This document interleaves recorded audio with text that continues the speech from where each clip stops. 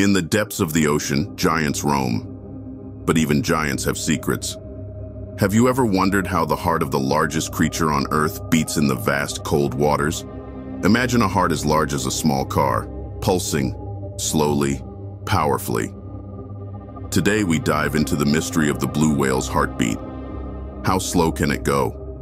Blue whales reaching lengths of up to 100 feet are not just the largest animals alive today, they are the largest animals ever to have lived.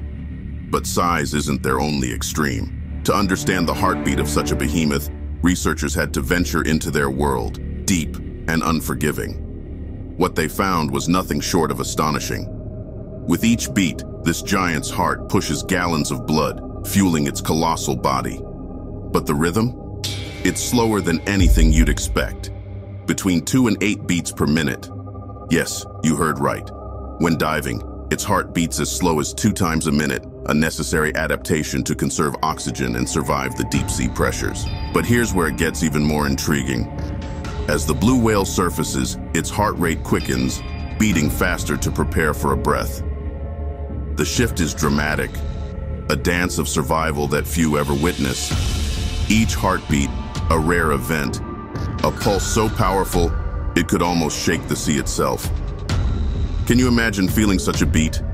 Stay with us as we continue to explore the secrets of the ocean's titans. What other mysteries do these ancient travelers hide? Subscribe and dive deeper into the unknown with us next time.